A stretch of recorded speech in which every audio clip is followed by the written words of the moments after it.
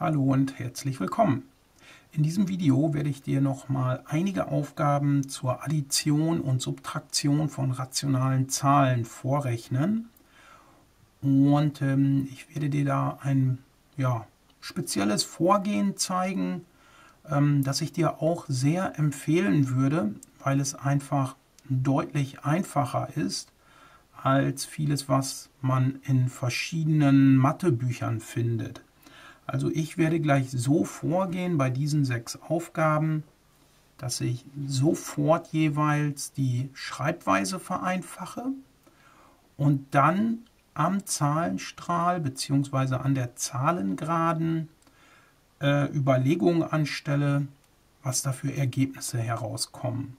Und ich würde dir empfehlen, genauso vorzugehen, auch falls du das im Mathematikunterricht anders hattest, weil es so aus meiner Sicht ganz deutlich einfacher ist und man kann sich das Ganze einfach besser merken.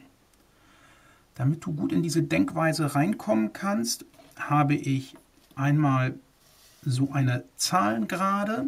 Wir sehen hier in der Mitte die 0 und dann geht es da von plus 100 bis minus 100. Und zusätzlich habe ich noch zwei solche Zahlenstrahle. Die gehen von 0 bis 200. Und einmal habe ich einen Zahlenstrahl für die Subtraktion.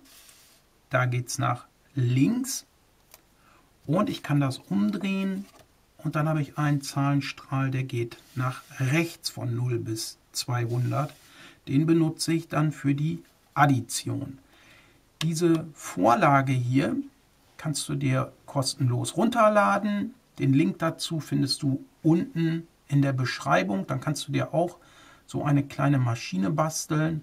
Dann kommt man erstmal sehr gut in das Denken rein, wie funktioniert das. Und dann sind die wirklich ganz einfach, die Aufgaben, und du wirst dann keine Schwierigkeiten mehr haben. Gut, ja, diese sechs Aufgaben gehe ich durch. Da ist eigentlich dann alles so dabei, was dir so begegnen kann in deinen ähm, Aufgaben, die du gestellt bekommst.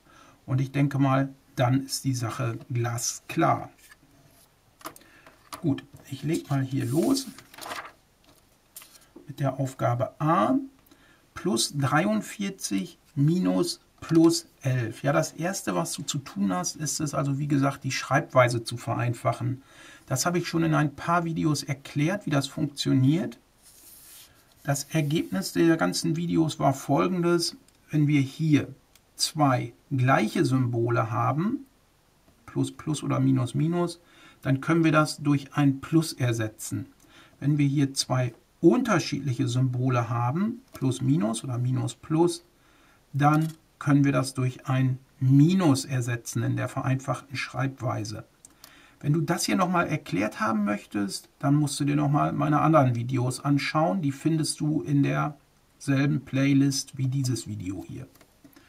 Gut, ich lege mal hier los. Also, vereinfachte Schreibweise. Da vorne das Vorzeichen, das können wir so übernehmen, wie es da steht. Plus 43.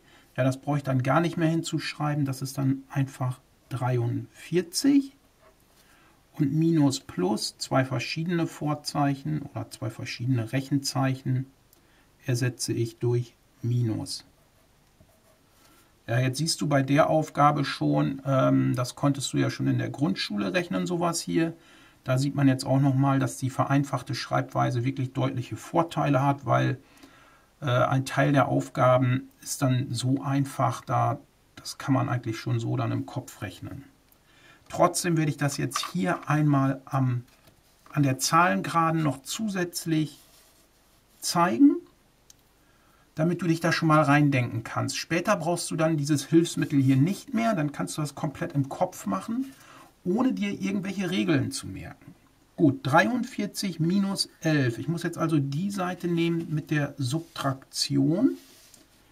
Ich starte bei der 43.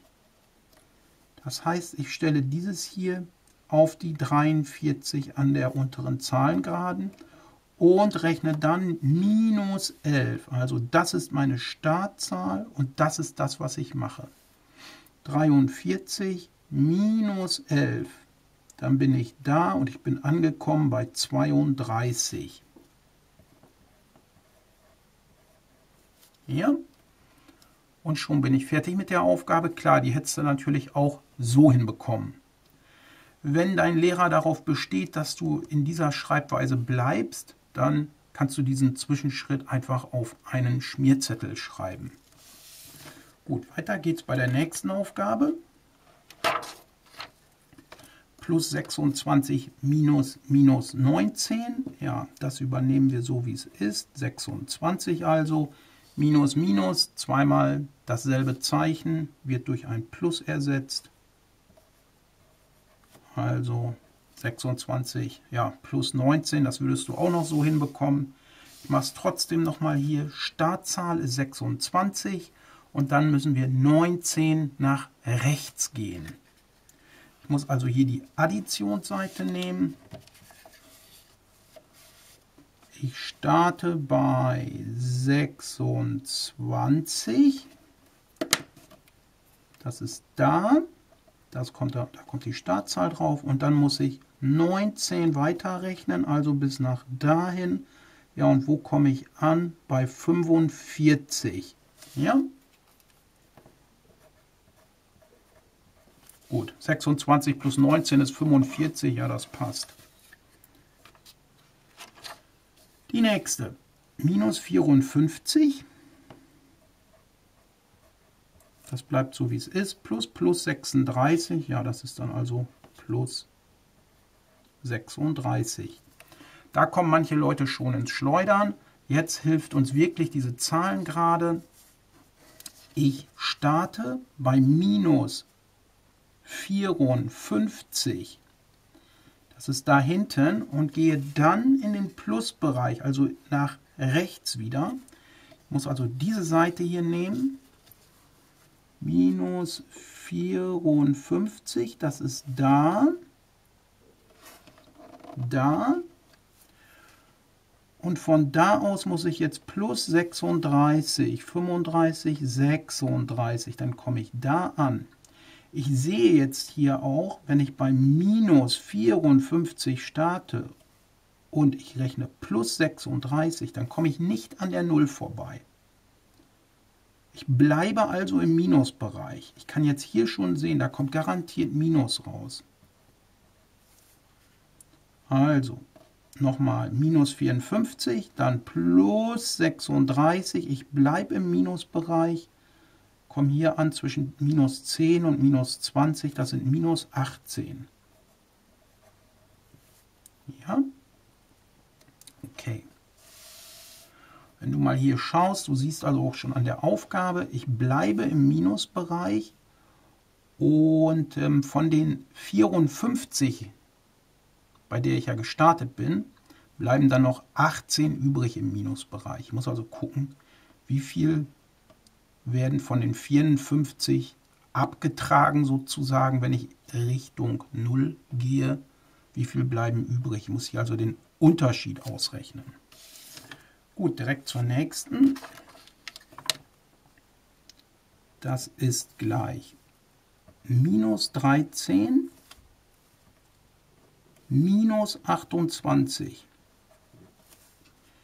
Ich bin schon im Minusbereich, und gehe noch weiter in den Minusbereich.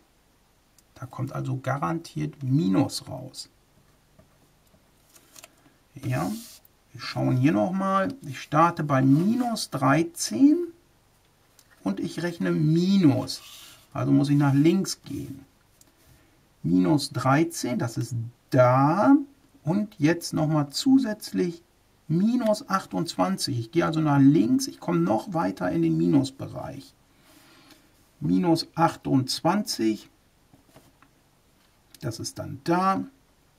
Ich komme an bei der minus 41. Ja?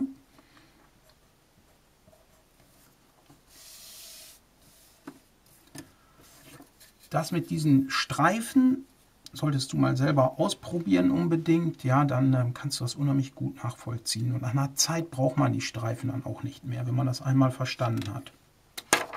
Gut, die nächste, plus 15, also 15 plus minus 48, also minus 48. Ja, hier starte ich im Plusbereich, gehe nach links und zwar komme ich sogar über die 0 hinaus. Ja. Nochmal zur Verdeutlichung hier an dieser Rechenmaschine. Ich nehme wieder die Minusseite, ich will ja Minus rechnen. Also ich starte bei 15, das ist da. So, und gehe jetzt minus 48 bis dahin. 40, 45 bis 48. So viel muss ich ja minus rechnen. Wo komme ich an? Bei minus 33. Das ist dann das Ergebnis. Das ist auch irgendwie logisch, wenn ich bei 15 anfange und dann minus 48 gehe, dann brauche ich ja erstmal 15 Schritte, um erstmal bis zur 0 zu kommen. Und dann gehe ich noch 33 weitere Schritte, um die ganzen 48 Schritte gegangen zu sein. Ja? So, und die letzte Aufgabe, minus 17 minus minus 21. Also haben wir hier minus 17 stehen und minus minus wird durch ein Plus ersetzt.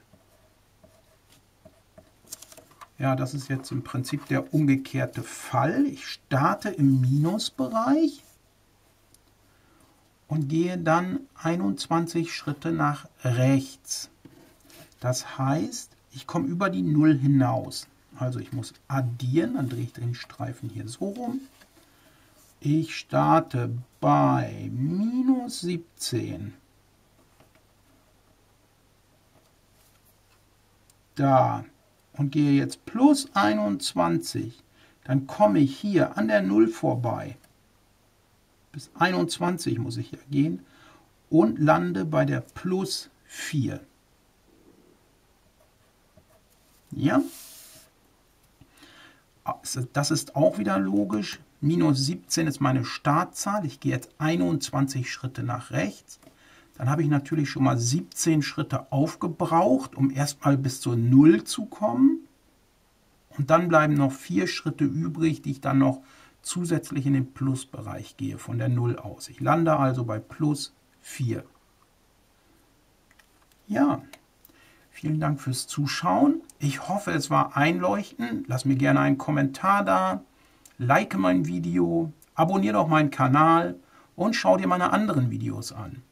Bis zum nächsten Mal. Tschüss.